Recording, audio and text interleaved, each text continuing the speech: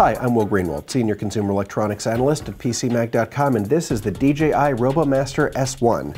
This is a remote controlled robot that you can program, and it is intended for a learning tool to teach kids how to code and maybe even you how to code too, because there's a lot of power in this little thing.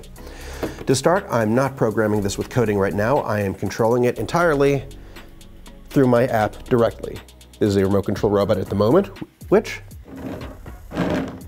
I can pilot in a variety of ways. I'm not going to let it roll off the table right now, but you can see exactly how limber this robot is. It uses these four mecanum wheels, which means that it can go sideways as well as forward and backward.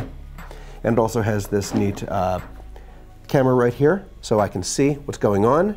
The barrel shoots both a laser blast, or it can shoot these little gel beads that you have to soak for four hours and uh, then they sort of become really tiny beads, then become about the size of tapioca. And it looks like this.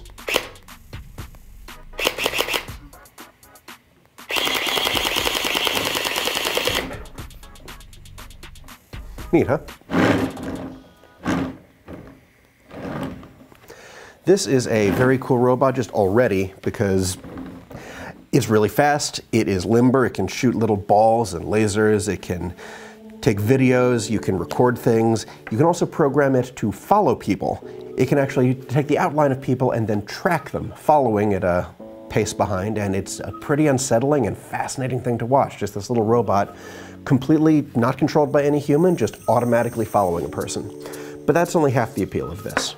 The really interesting thing here is that you can program this, and it uses two programming languages. Scratch, which is an MIT-developed tile-based language for children ages 8 to 16 to learn how to program. Uh, you don't need to worry about syntax or text or typing a lot of things. You just drag these blocks together that represent different things, like uh, if this recognizes a shape, if it fires a laser, if it rolls around in a certain direction, all these different things just with tiles you click together. And it's a very powerful way to teach this to do different things, like, say, following a target. And it's a skill that you can transfer over into if you're learning Scratch through, say, a programming class at school that's the same language. There's also the ability to program this with Python, which is a powerful text language. You can put in whatever granular code you want into this to teach it to roll forward, chase something, Honestly, this is a pretty compelling and fascinating robot from DJI, the makers of uh, a lot of aerial drones. It's one of the biggest drone manufacturers. Those uh, quadricopters with cameras, a lot of cinematographers use them to get what used to be called crane shots, uh, and they can follow people around too and take photos. So this is sort of a, you know, it's a land drone, but it's also an educational tool. And at $500, it is fairly pricey, but the things you can do with it make this remarkable for, say, a classroom or uh, you know a well-heeled parent who really wants their kid to eventually learn how to program Python, or just uh, you know harass their nanny with that. You can do a lot of just ooh hit the lens with that one. Nice.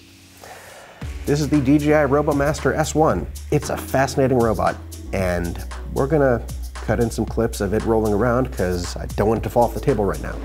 It can bump into a bunch of things, but it should not fall four feet onto even carpet because then it can break. A lot of robots are like that. This isn't ruggedized and it's not waterproof, but you can have some fun with it and it's surprisingly zippy.